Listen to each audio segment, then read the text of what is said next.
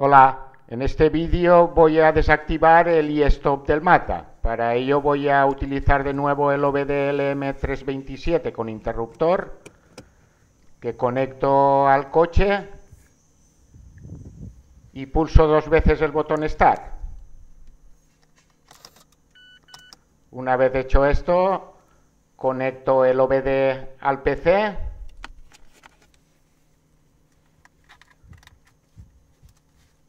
y a continuación voy a grabar la pantalla del PC. Ahí tenéis. Abro el ForceCam y conecto. Como veis la posición inicial es correcta porque no me marca ningún error.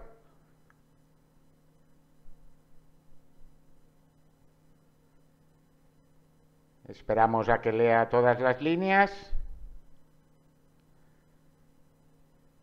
Y ahora nos pregunta si tenemos un OBD con interruptor. Le decimos que sí y cambiamos el interruptor del OBD.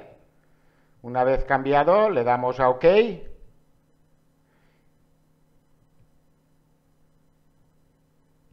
Y nos aparece el mensaje de si queremos grabar el perfil. Le decimos que no y pulsamos el icono del chip. En esta ocasión voy a entrar a la opción SSU as Build Format. Le doy a ejecutar y me pide volver a cambiar el interruptor. Así que vuelvo a cambiar el interruptor del OBD y le doy a OK. El mensaje de advertencia, que cuidado con los cambios y como siempre lo primero que vamos a hacer, en este caso voy a abrir un Excel en el que podéis ver que están los valores iniciales que dispongo ahora y los cambios que voy a realizar en rojo. Aquí podéis verlo en binario y el cambio del bit que voy a cambiar en decimal y el cálculo. Ok. Eh, Vamos al ForceCam y lo primero hacer una copia de seguridad. Como veis yo ya la tengo. A continuación voy a hacer los cambios en la cadena, como podéis ver. En el segundo par sustituyo el 38 por 28 y en el último par el checksum el 96 por 86. Igual hago con la segunda cadena. Como podéis ver, hago los cambios que aparecen en rojo en el Excel. Ok, una vez hecho estos cambios y comprobado, le doy a Write Alt y me aparece el mensaje de reiniciar el sistema del coche.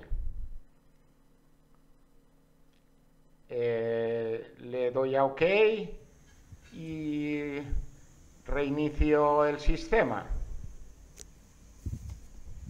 desconecto el OBD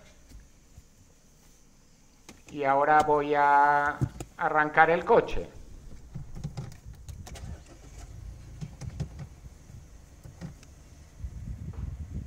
Como veis, si pulso el botón de e-stop, sigue marcando en el cuadro el e-stop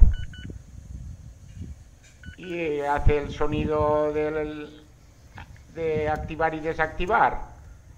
Pero si entramos en las aplicaciones, ahorro de combustible,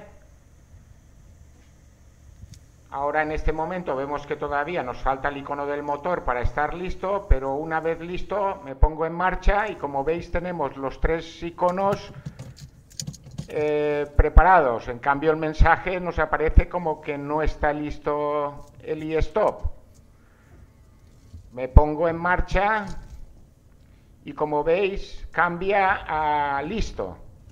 Y si vuelvo a parar el coche cuando tendría que activarse, como veis, vuelve a cambiar a no está listo, a pesar de que los iconos están encendidos. ¿Veis cómo cambia alternativamente a listo no está listo dependiendo de si paro el coche?